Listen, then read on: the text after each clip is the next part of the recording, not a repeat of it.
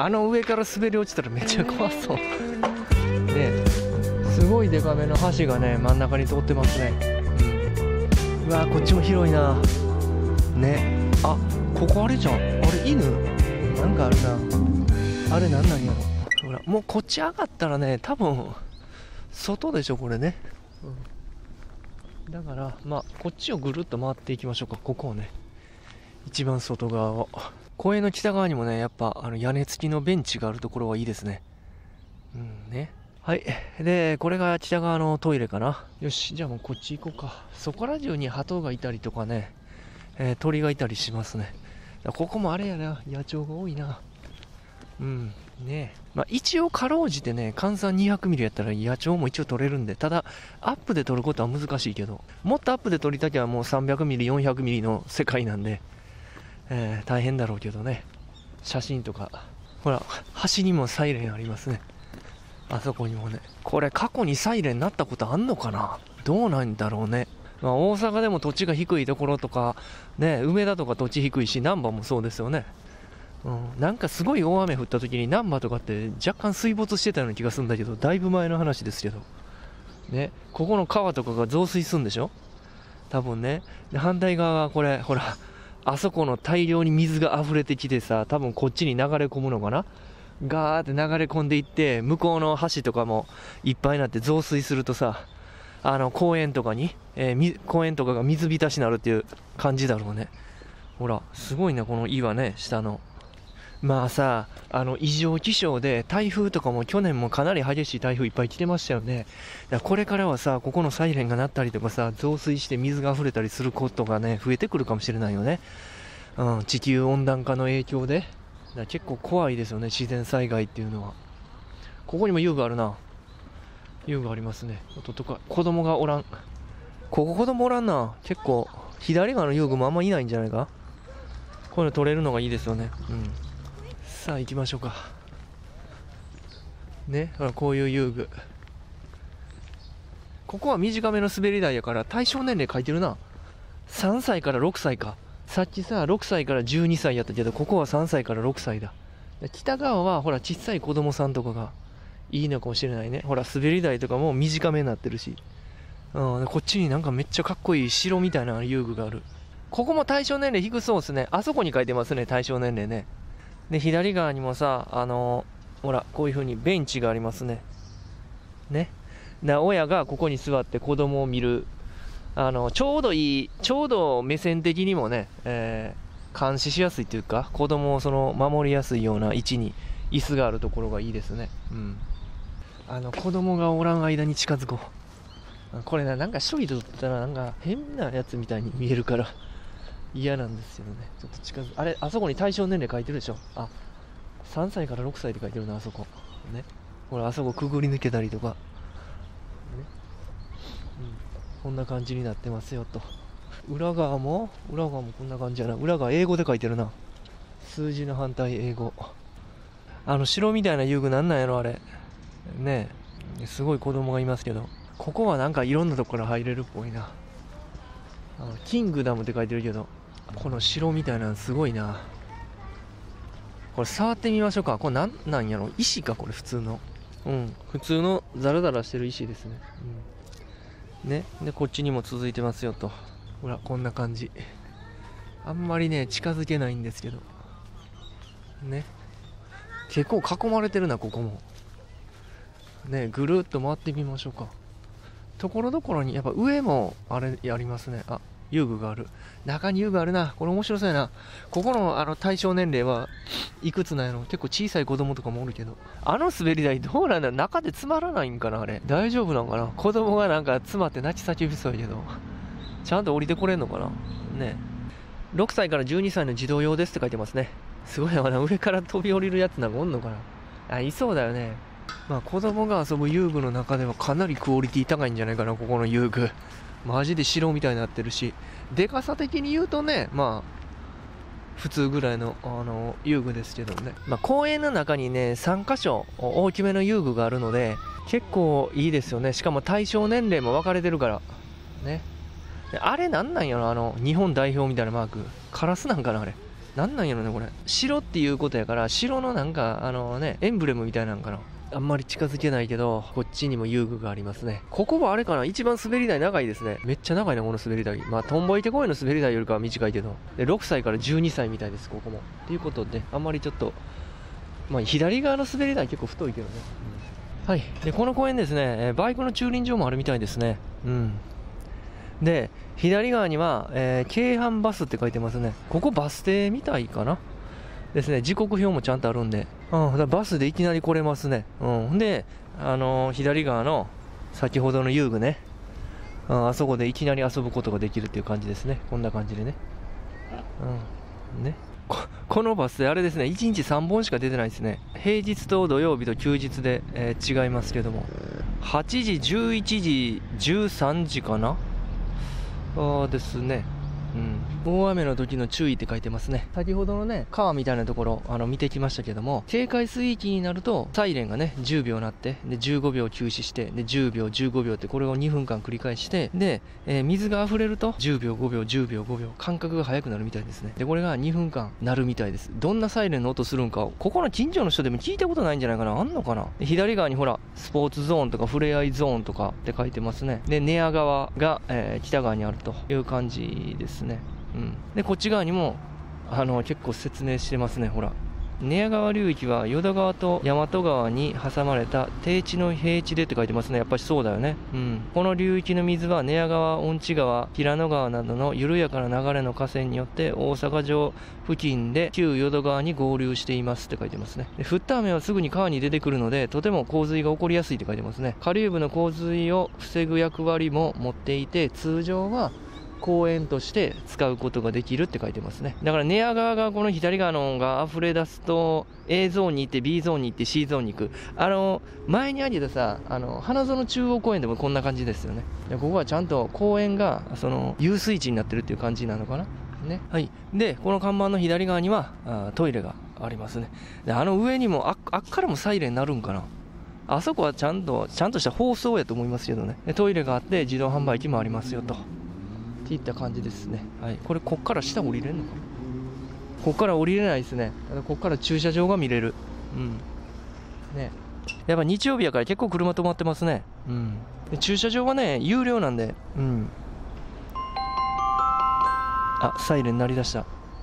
北緑地へおいでの皆さん、ね、ほらあそこからあれはサイレンじゃないんだ深田緑地管理事務所です、明るく美しい公園にするため次のことをお守りください真ん中にね、ちょっとした、あの、花壇がありますね。うん。で、このね、右側の木がね、えー、メタセコイヤの木かな。紅葉の時期綺麗になる、あの、木ですよね、これね。あれ、確か大泉、大泉緑地にもあったような気がするんだけど。まあ、残念ながらね、これ、花も何も咲いてないっていう冬なんで、咲いてないっていうか、なんか、しおれてるような感じですよね、これね。うん。ホースがあって、すごいな。こんな感じでね。えー、取れますよと。でここに橋がありますね、うん、橋は結構あるな。ああとあれだ。あのー、まあここの公園ね道に迷うことないと思うけどちゃんとプレート立ってますね。まあ結構な感覚でね水飲めるところもあるんであのあそこの水ってどうなんだろう。飲んだことないけどね俺公園の水とか。衛生上どうなんやろ。あとほら先ほどのあの看板が立ってますね。3キロコース2キロコースって書いてますね。うん。で、えー、公園内ではいろんなイベントもやってますね。テニススクールとか、ね、グリーンフェスタとか。野鳥観察会だってやっぱそうだよね。参加費無料って書いてますね。うん、節分もあるじゃん。結構晴れてきたな。ね時計塔があったりとか。スケボーはこっちからも結構綺麗に撮れそうですね。ただ人がいるんで、あんまり撮りにくいけど。うん。あとはこういうちょっとした花のえー、アスナロ火山とか見てますね、うん、結構ねボランティアの人がね育ててるっていうねところはね他の公園にも結構あるんですよ、うん、ウツボ公園とかもそうじゃなかったかな、うん、ですね。結構いろんなところで、えー、花をね育ててるみたい。あの上から滑り落ちたらめっちゃ怖そう。ね。やばいでしょここ。結構あれっすね。あんまり近づけないけどヘルメット防具を着用しましょうって書いてる。あのさ最近の公園ってさスケボー禁止なとことかって増えてきてない？公園内でスケボーすんなとか。こういうところを用意してくれてるのはいいかもしれないですよね、うん、しかもかなり広いし右側もあるしさ左側もあるんで。ね。うん。はい。でここね波の広場っていうみたいなんですがここのですね反対側ですね。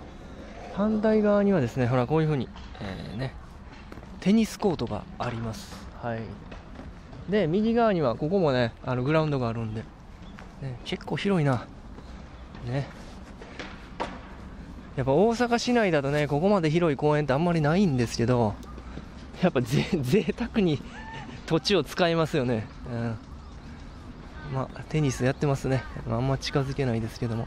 テニス発祥の地とかいうのがなんか浜寺公園で書いてたけどここのテニスコートめっちゃ綺麗な。何これ？うん。土のグラウンドじゃないしこれ。ね。うん。こんな感じね。ちらっと見せると。うん。ですね。はい。でねこのねテニスコートがめっちゃ多くてこっちにあるでしょ？でこっちにもあるじゃん。ここ奥にあって向こうにもあるから。だいぶテニスコートあるよ。うん。ねやっぱ深北緑地のテニスコートは綺麗ですね。うんでちょうどそのテニスコートの外側が木がいっぱい生えてて、まあ、浜寺公園は松でしたけどこういうところにさあそこにテントとか置いてえー、ご飯食べたりするのも良さそうですね、ここね。うん。まあ、こっちの方歩いていきましょうか。ね。なんかあるな。あれなんなんやろ。えー、っと、寝屋川治水緑地竣工記念で書いてるのかな。深の池かなと思ったらさ、不幸の池なんですよね、ここね。あね結構読み方難しいみたいな。あね、記念碑が立ってますね、ここにね。うん、はい、じゃあですね、えー、戻る方向に行きましょうか。はい、テニススクールもやってるみたいですね。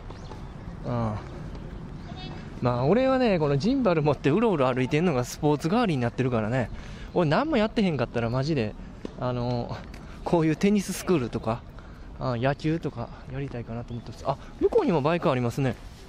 うん、バイクの駐輪場、結構二輪車もありますね。バイクの二輪って無料なんかな？自動車はね、有料なんですよ。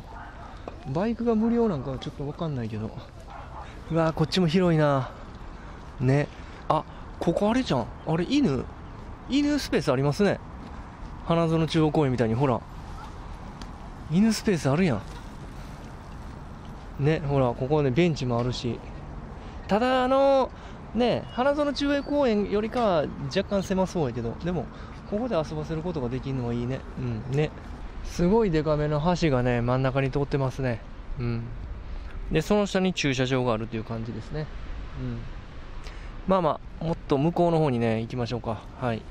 先の奥のところでもねドッグランありましたけどもここはね小型犬専用のドッグランがあるみたいです体重 8kg 未満って書いてる大型犬と小型犬をね一緒に遊ばせると大型犬がね、小型犬を噛みついたりするんで、そういう事故とかもね、起こってるみたいなんで、分かれてるみたいですね。ドッグランの中で飲食はね、できないので。はい。っていうか、小型犬ほとんどいないんで、まあ、そんなに広いスペースではないけど、こんな感じになってますね。うん。で、まあ、ぐるっと一周回ってきた感じですね。うん。で、えー、こっちの方行きましょうか。このなんか石何これ。この石何なんやろ。ラグビーボール？なわけないな。何の石なんやろこれ。ちょっとよくわかんないですね。うん。なんか穴開いてますね。ところどころに。なんか複数立ってる。なんかあれか。巣とか作んのかな？鳥かなんかが。ちょっとあれですけどもね。あやっぱさっき取っといてよかったね。めっちゃ子供増えてる。ねさっきのさ10時ぐらいに撮ったら全然人おらんかったけどさすがにあの暖かくなってくると人が増えてくるな。ねうん。はいということでいかがだったでしょうか？はい。いや結構広かったですね。一周回りましたけど多分23時間かかったんじゃないかな。まあまあ撮影しながらっていうこともあるんでね。ただここの公園の特徴はあの大きいですね遊具があるところこういう広場が3箇所ありますね。はい。であの結構お城みたいな遊具があったりとかうん、あとはすっごいあのでかい広場があったりとか芝生の広場があったりとかグラウンドの広場があったりとかね。そういうところがあったりとか、はい、あと向こうの方には野鳥が取れたりとかね、はい、で向こうの奥の方には、えー、ドッグランがあったりとか、はい、小型犬と大型犬で、えー、分かれてるのかな。あみたいですね、うん、でさらに奥にはテニスコートがあったりとか、はい、で奥に駐車場もありますし、えーバイクのね駐輪場もありますんでただあれなんですよね。あの大雨が降ると結構危ない公園みたいなんで、えーサイレンがどんな感じになるのかはねちょっと先ほどあの説明しましたけども、うん、結構ね、えー景色も綺麗で、えいい公園なんじゃないかなと思いますね。はい。まあ今日ね前半曇ってて、まあ、後半今めっちゃ晴れてますよね。あーだこれぐらいの天気でやりやりたかったんですけどもね逆にでも天気が良くなるとこういう風に人が増えてくるんでねやっぱし午前中に来てて正解だったでしょ。この状態でね近づいて遊具取れないんでまあまあ良かったかなと思いますね。あ早く来て。うん。っていった感じですね。あと鉄塔もねすごいでかい鉄塔とかもあってえーいくつかね、えー動画撮りましたし、まあ、どっかで上がってるかもしれないですしね、はい、あとはまあ右側に野球場があったりとか、はい、でここもすごいかっこいいでしょ。見えてんのかなこれ。ね。鉄塔がめっちゃ並んでるんですよこっち側ね、うん、っていう風な感じで、えーね。